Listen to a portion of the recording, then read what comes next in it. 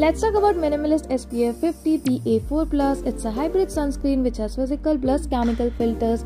It is free from fragrance, silicone, sulfate, paraben, dyes, essential oils.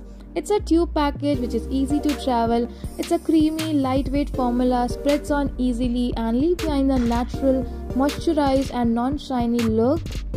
Let's try it on face using two finger rule. So if you are a dry, very dry or combination skin type, you will definitely enjoy using this sunscreen. It is very hydrating on your skin. But if you are a oily skin type, you may like to skip your moisturizer and directly use this sunscreen. It retails for $3.99 for 50 gram product.